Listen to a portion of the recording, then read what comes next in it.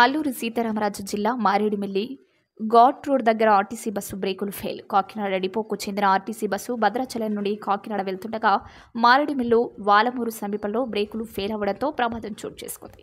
ఈ ప్రమాదంలో డ్రైవర్ సుబ్బారావుకు తీవ్ర గాయాలు కాగా ప్రయాణికులకు స్వల్ప గాయాలయ్యాయి. డ్రైవర్ సుబ్బారావు చాకచక్యంగా బస్సును అదుపు చేసి ప్రయాణికుల ప్రాణాలను కాపాడారు. క్షేతగాత్రులను అంబులెన్స్ సహాయంతో మారేడుమిల్లి పిహెచ్కి తరలించి చికిత్స అందిస్తున్నారు. ఇంకా లాస్ట్ని ఇంకా తట్టుకోలేకపోయాడు. తట్టుకోకపోతే ఇంకా లాస్ట్ని కర్ణాటక గారు ఏమన్నారంటే ఇంకా కొండ పెట్టమన్నాడు. ఆ కొండ పెట్టడంలో ఇంకా అందరూ బతికారు.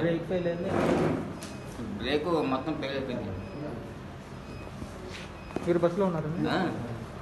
ఎక్కడి నుంచి వస్తున్నారు మీరు? మేము భద్రాచలం నుంచి కాకినాడ వస్తున్నాం.